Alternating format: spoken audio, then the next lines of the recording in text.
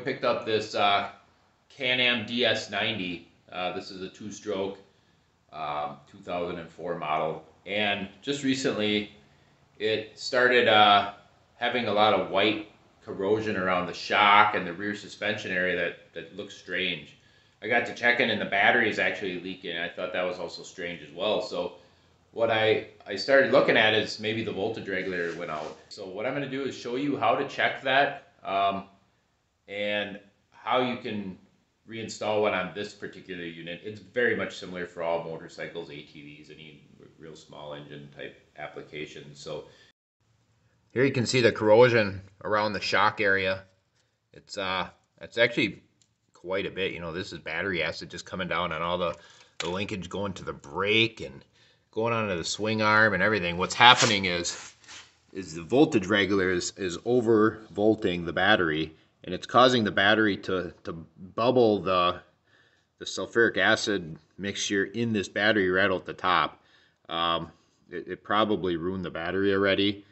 Um, we'll see after the fact if that's the case. For the most part, this is a process for doing any voltage regulator or rectifier on a, on a mini bike, a moped, a motorcycle, an ATV. So first thing we want to do is uh, just find our battery post and here um, it's under this back fender here. I won't show you that. You, you all know what a battery looks like. I'm going to put my positive and negative tabs pins here and get that in the battery. So right now this battery is weak but it is at 12 volts. And what I'm going to do is we're going to start this thing. And I don't know if this battery will turn it over, but we do is we start it right now it's at 12.01 volts.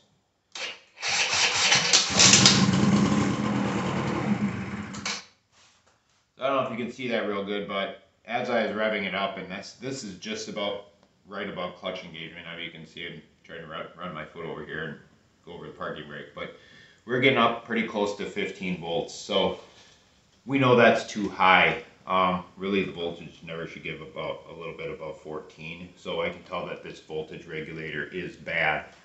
Um, so what we'll do is pull the voltage regulator out and buy a new one.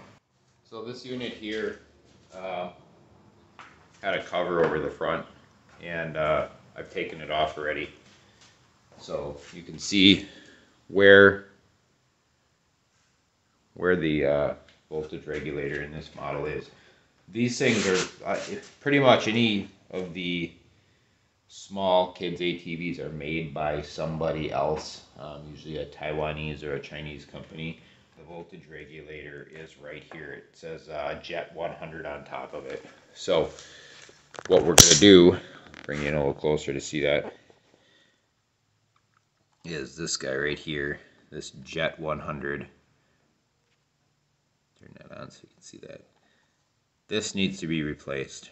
Um, this is letting too much voltage go to the battery and it's actually uh, destroying our battery, which it might have done already, um, but we'll see. So, pretty easily simple fix here.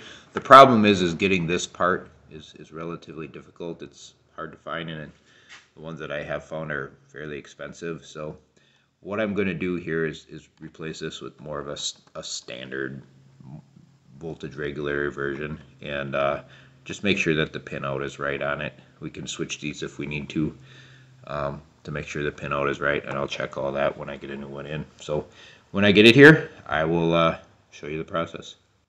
Well a few days ago uh, I showed you how to check your voltage regulator and finally I got my part in here I went through and, and cross-referenced a bunch of parts. And a lot of times on any older vehicle, you kind of got to do that um, to get to get what you need. So this here says Jet 100 on it. Um, it's used. This is a Her Chee model, um, rebranded as a Can-Am. It's a 2004 model, and I found that the uh, Yamaha voltage regulators are actually the same um, and it'll work for this unit. So this is a Caltric um, brand, you know, generic brand RR245 voltage rectifier regulator. And uh, I'm gonna install that today and then uh, show you how that works. Um, it's it's pretty simple. we literally take this one off. This one here should plug right in and uh, be mounted. It's a little bit different size, a little different format, but the reality of it is that the pinout is the same and it's going to do the same job as we need it to do, which is charge our battery without boiling it over.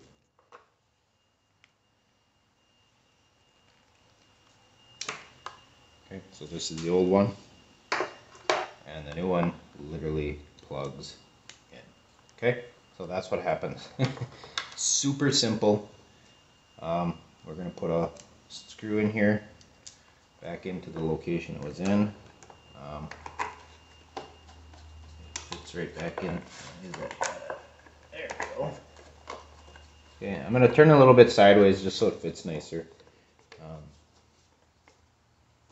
there we have it. So as you can see, we've got the new voltage regulator rectifier in the front electric box area. Um, I tuck these wires back in. We'll get the cover back on. But what I wanted to do was show you that the uh, the unit is actually working, and I need to prove that for myself as well.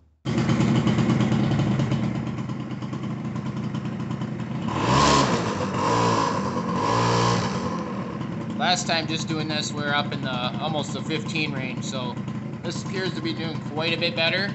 Um, and hopefully we won't boil our battery over anymore. So there it is.